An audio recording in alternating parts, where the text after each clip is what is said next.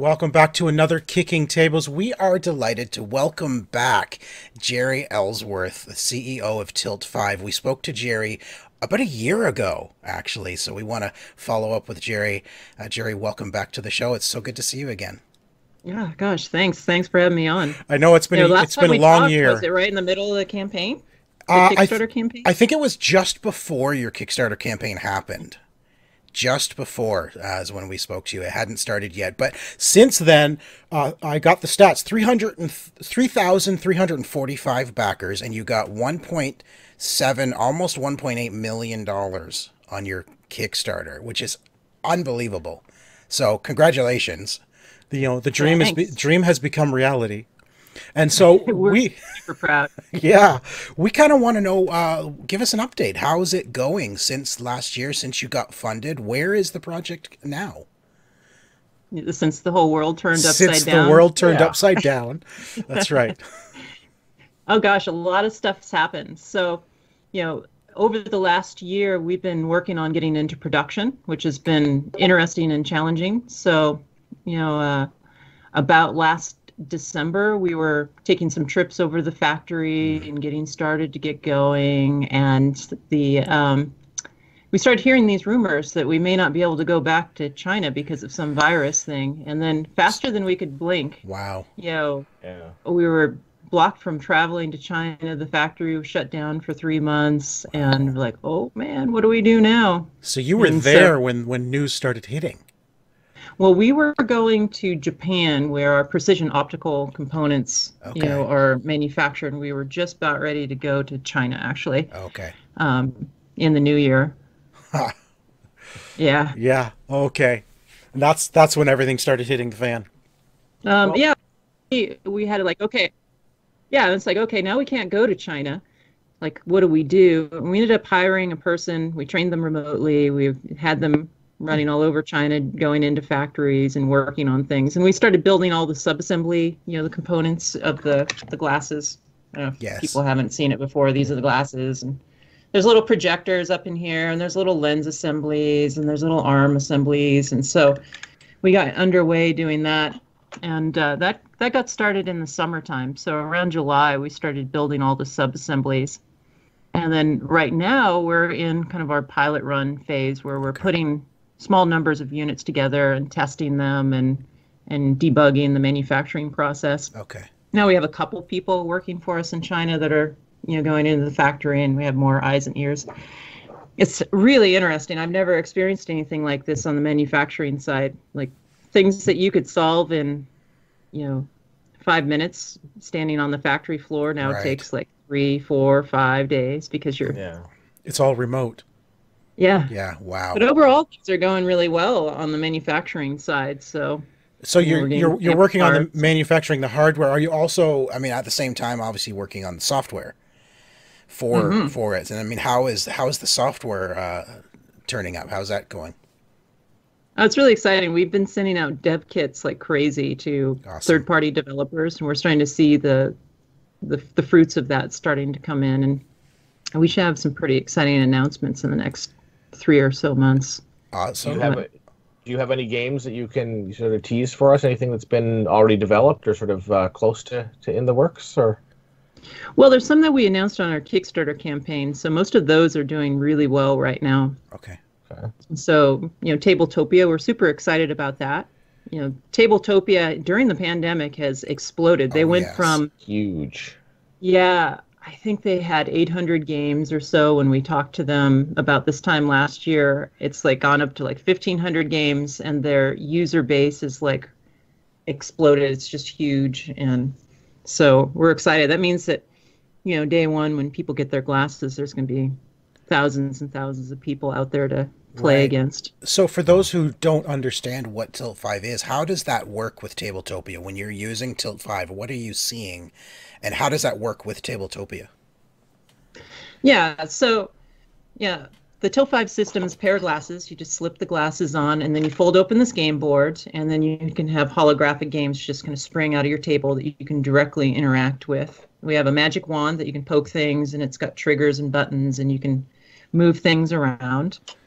And you can also track your hands and other objects like wow. playing cards and things like that.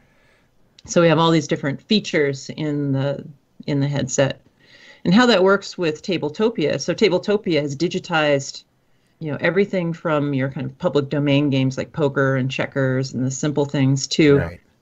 super high end Euro style um, board games. Oh, They're all digitized. And they're And a lot of Kickstarters are using it now to put their game out even before the Kickstarter with demos.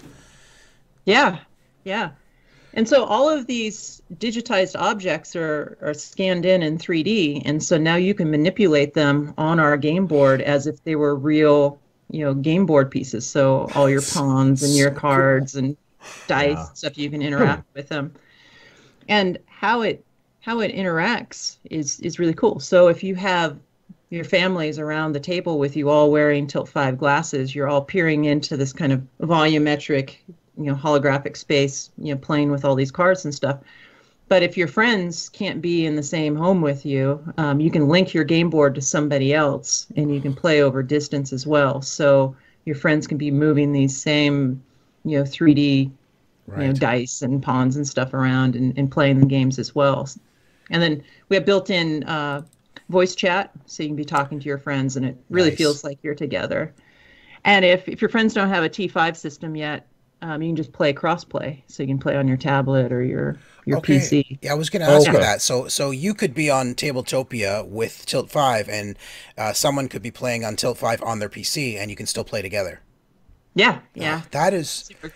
that is awesome. That would for me that actually makes Tabletopia even better because I find when I'm trying to play a board game on Tabletopia, hmm. I struggle more. I'm, I, it's it's more about figuring out the controls than actually playing the game, and so I don't enjoy the game as much because the controls sometimes. st- actually hitting a button and flipping your cards over when you were just trying to pick them up and stuff like that gets really confusing. So having that that Yeah. system of being able to physically and not being able to them. see everything, like having to Yeah. zoom in and see things close, and just not having that you know table right in front of you is really uh, it's it's yeah it really you know what's neat about our system is it takes things that would be difficult for someone especially if they don't play video games Mhm. you know it makes Yeah. it the interactions just like it was in the real world so you want to pick the dice up Yes. you know you can just grab them with the end of your wand and you just everyone knows how to poke something right Exactly. with a stick you just poke the dice within a stick and pull the trigger and you pick them up and you twirl them around and you drop them and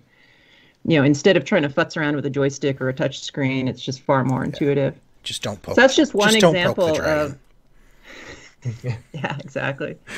That's one example of uh, one of these um, applications that's coming to our system. We have also a lot of um, puzzle and action games coming too like pure video games.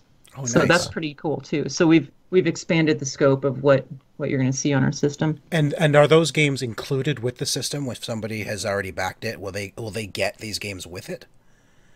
yeah yeah quite a few of them some you'll have to pay for because you know third party developers you know doing this to put food on the table but yeah Um, We included a bunch, and we've already sent out Steam keys to a few of the games Nice. that are coming to our system, like uh, Wartile. Oh yeah. Oh, okay. Yeah, so everyone got a free Wartile key, and they got to um, play it ahead of time, and that's going to be, you know, in now holographic space once the glasses are available. that's a great Chuck's- game to throw in there for sure. That's that's fun. I can So imagine pretty. seeing that in in 3D. It'd be amazing. So can the Tilt Five capabilities be added to like any game, or is it only specific ones that are developed for Tilt Five? No, it's just a plug-in that you can put into the game engine, and you can take advantage of, you know, these features. A lot of games, you will port over very nicely, and some of them, probably not. Like, you know, if it's like a uh, first-person shooter, it's kind of kind of weird doing a first-person shooter looking straight down into your table, but it could Sure. work, right? But if it's like a uh, top-down, like action game, like a Diablo style game or a Yeah. Command and Conquer style game, it just it's like a straight over port. It's it's really easy. But could uh, can Tilt Five capabilities be added to an actual board game? Could could someone take a board game and and create a module to use Tilt Five to augment the real world game with holographics? That's an interesting thing to uh, think about.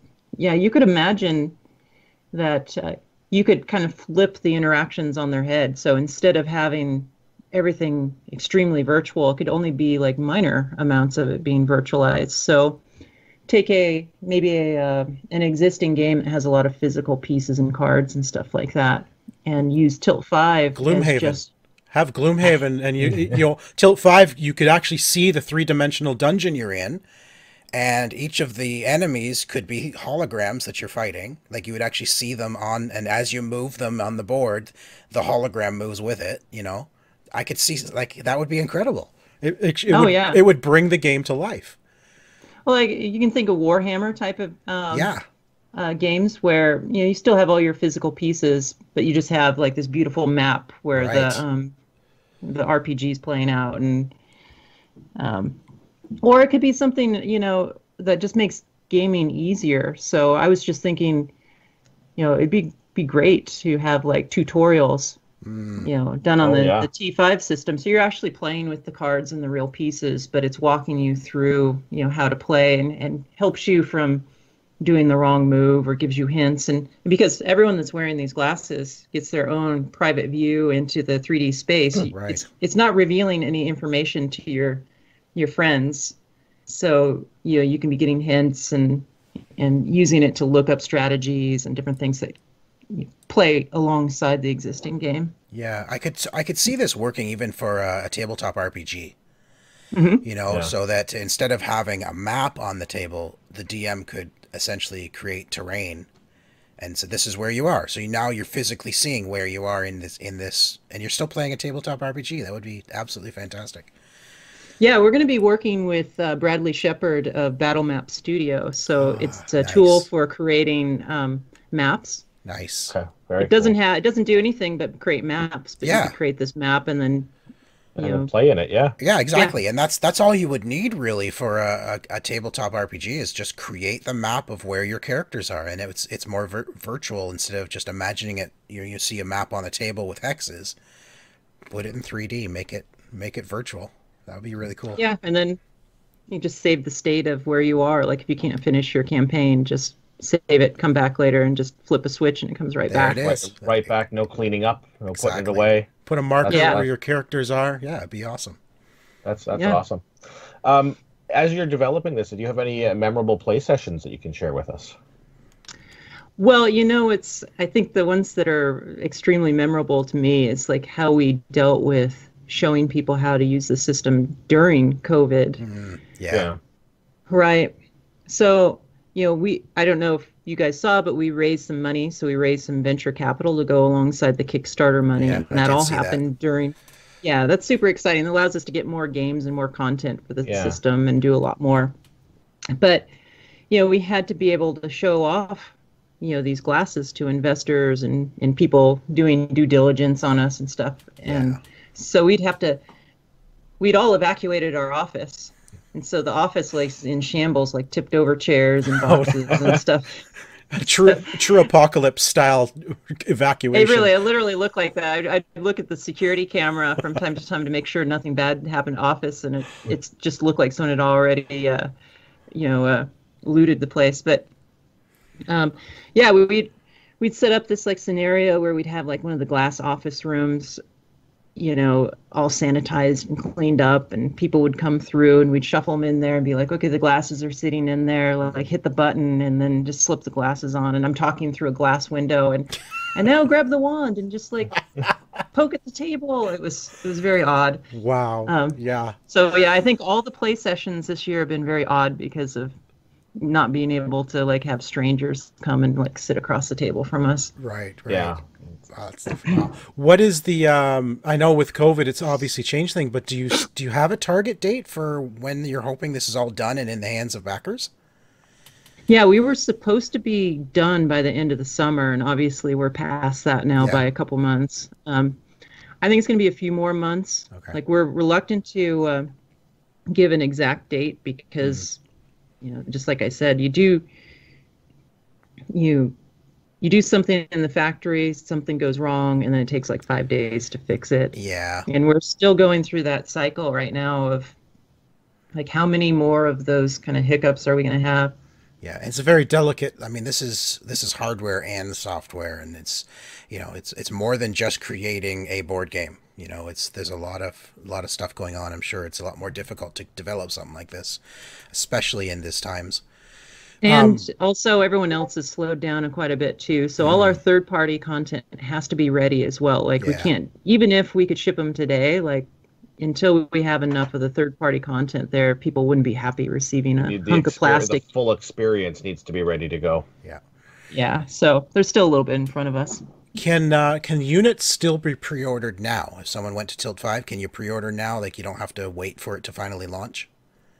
Yeah, that's it's kind of an interesting dilemma we're in right now. We left the pre-sale button turned on the Kickstarter campaign, and you know, as soon as COVID hit, there was this huge uptick in pre-sales, and so now we're we're looking at you know we have to get the Kickstarter units out, and yeah. then we have all the pre-sales that we have to get out, mm. and, and so it's kind of a first come first serve, and we're trying to figure out like you know when does all of the the Kickstarter and pre-sales end, and when do we go into like a more traditional sales cycle? And it's yeah, it's going to take us a while to catch up. So if you want to get it now, you can go you know get into the queue and and get in awesome. in line.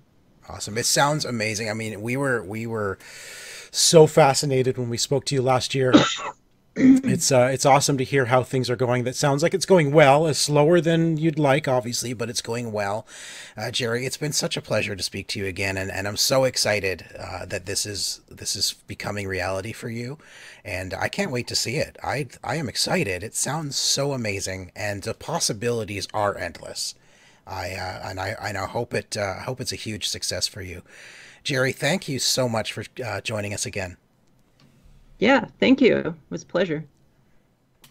Well, I want to sincerely thank everyone for um, stopping by and, and listening to us today. And uh, I encourage you to go to tilt5.com and uh, check out uh, what we're doing over there with augmented reality. And be sure to click and subscribe and uh, join everyone over at OMG Nexus.